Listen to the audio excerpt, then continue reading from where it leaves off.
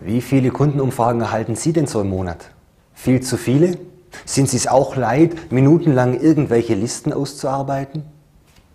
Haben Sie deswegen möglicherweise schon aufgegeben, Ihre Kunden zu befragen? Weil Sie die Kunden nicht belästigen wollen, weil es eh nichts bringt, weil kein Rücklauf kommt? Dann habe ich eine Idee für Sie. Es gibt eine wunderbare Kundenumfrage, die nur mit einer einzigen Frage funktioniert. Und das ist der sogenannte Net Promoter Score, kurz auch NPS. Und diese eine Frage, die Sie Ihrem Kunden stellen, ist, wie wahrscheinlich ist es, dass Sie unser Produkt oder unsere Dienstleistung weiterempfehlen? Und dann malen Sie eine Skala auf von 0 bis 10 und lassen Ihren Kunden ankreuzen.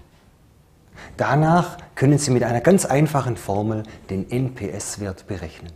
Das geht so, indem Sie einfach den Anteil der Kritiker vom Anteil der Fans in Prozent abziehen. Das ist Ihr ganz persönlicher Net Promoter Score.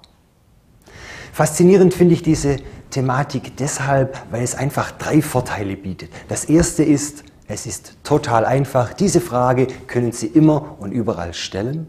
Das zweite ist, Sie erhalten einen Wert, mit dem Sie mit anderen Firmen vergleichbar sind.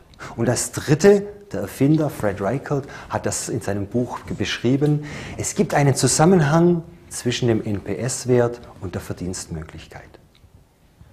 Und ich habe einmal aus dem Internet ein paar Werte aus der Automobilindustrie rausgezogen, die das sehr schön verdeutlicht.